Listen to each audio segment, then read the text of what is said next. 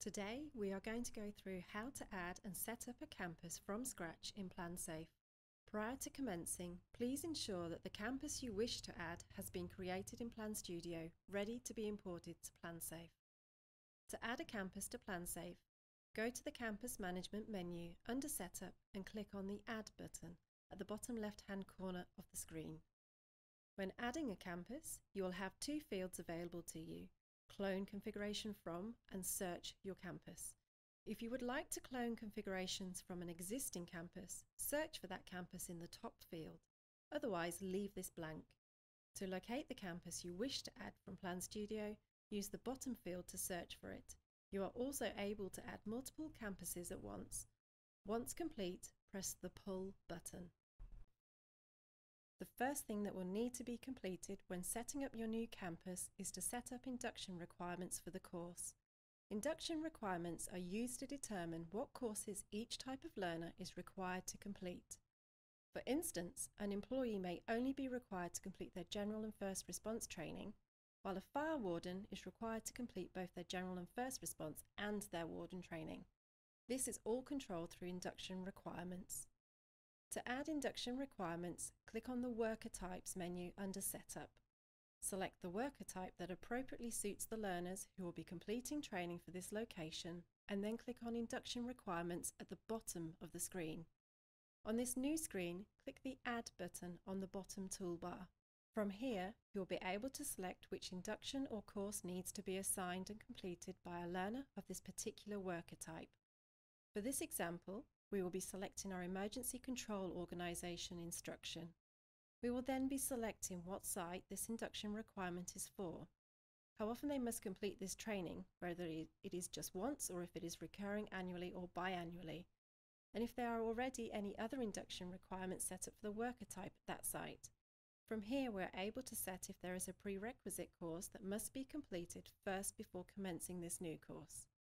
Once this is completed, save and repeat for additional worker types and courses as many times as required. Next is Campus Navigations. Each navigation has an item set up against it, whether it be content items, assessments, or interactive floor plans. On this menu, we assign which navigations the location will be using. To do this, go to the Navigations menu under Campus Configuration. Navigations work as part of a hierarchy system, there are parent navigations and child navigations. A child navigation is typically a sub-item within your content. You may have a navigation called Emergency Procedures. This is the parent navigation. And under this heading you have another navigation called Fire Smoke.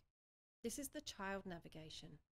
Each navigation holds important information separately in its own right, but they are related and relevant to each other. To assign a navigation to your campus, find the column with the campus you are setting up and select the row with the navigation you wish to enable for that campus. Once selected, press the A key on your keyboard or press the Assign button on the bottom toolbar. This will assign that navigation to that campus. If you want to remove a navigation, select the item and press the U key on your keyboard, or click the Unassign button on the bottom toolbar. This step will also need to be repeated for any child navigations by clicking on X child items and assigning all desired navigations. Also, please note that for the navigations to work on the location, they also need to be assigned to the desired course. This is done through the Navigations menu under Course Configuration, which dictates which navigation is available to which course. For instance, you may only have the Evacuation Coordination navigation assigned to the Emergency Control Organisation Induction course. However, all navigations that will be used for the campus in question should be assigned regardless of what course they will be used in. To assign questions that will be used by the location, go to the Questions menu under Campus Configuration. To assign questions to your campus, find the column with the campus you are setting up and select the row with the question you want to assign to that campus. Once selected, press the T key on your keyboard or press the toggle button on the bottom toolbar. This will toggle the question on or off for that location. The next step with setting up a campus is to assign assessment fields to the location. Assessment fields are the information about a learner that is captured when they attempt an assessment and is also the information that will show on reports.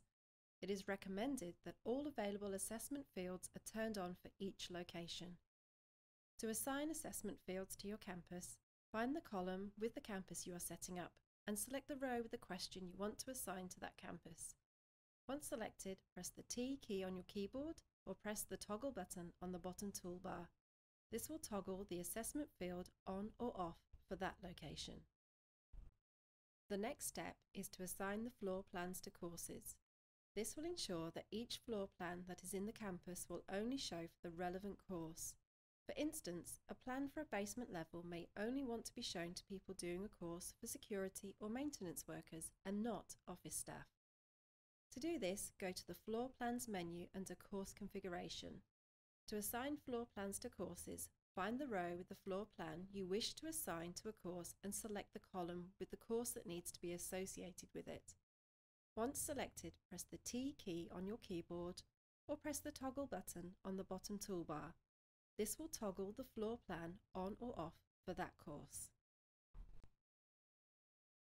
Much like the floor plans, we also need to assign the campus itself to the relevant course.